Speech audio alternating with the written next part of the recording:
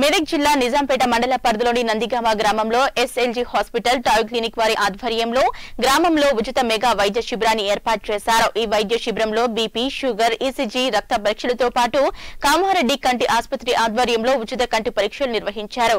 నందిగామ గ్రామ ప్రజలే కాకుండా చుట్టుపక్కల గ్రామాల ప్రజలు సుమారు ఐదు వందల మందికి పైగా వైద్య చికిత్సలు చేసి ఉచితంగా మందులు పంపిణీ చేశారు. ఈ కార్యక్రమంలో SLG hospital doctor Vikas Shukla Mohan Lal కంటి specialist doctor Anvesh Bishop doctor Vinod Kumar గ్రామ సర్పంచ్ లద్దా ప్రీతి ఉప సర్పంచ్ రాజ్యం తదితరులు పాల్గొన్నారు.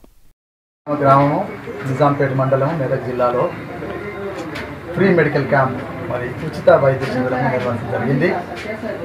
హైదరాబాద్ నుంచి మరి నిపుణులైనటువంటి డాక్టర్లు మంచి మంచి హాస్పిటల్ పనిచేసేవారు.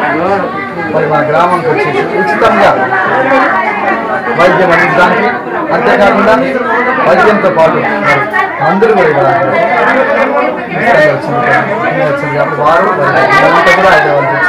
నందిగామ గ్రామంలో జాయ్ క్లినిక్ మరియు ఎస్ఎల్జీ హాస్పిటల్స్ వారి తరఫున నందిగామ గ్రామంలో గ్రామస్తులకు ఉచిత వైద్య శిబిరాన్ని అందించినందుకు గాను మా నందిగామ స్థానిక ప్యాచర్ వినోద్ గారికి మరియు ఎస్ఎల్జీ హాస్పిటల్స్ మరియు జాయ్ క్లినిక్ వారికి మా గ్రామ పంచాయతీ తరఫున మా పాలకవర్గం తరఫున సర్పంచ్ ఎంపీసీ గారి తరఫున అందరి తరఫున మా యొక్క హృదయపూర్వక ధన్యవాదాలు.